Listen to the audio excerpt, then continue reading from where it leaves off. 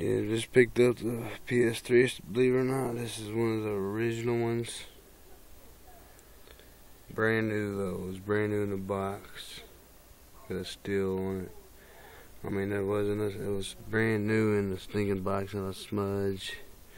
360 gig hard drive. I mean, this thing is sweet, dude. That I just thought I'd show it to you. Come with two dual shock controllers, no headset, but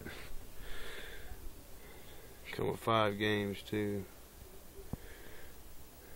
But yeah, it's one, of the fat versions.